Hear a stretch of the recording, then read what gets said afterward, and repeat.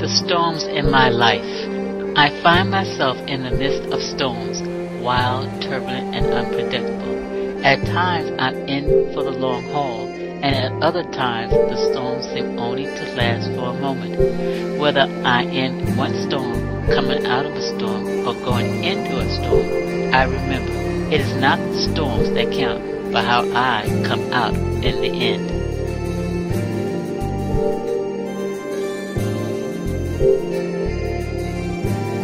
Thank you.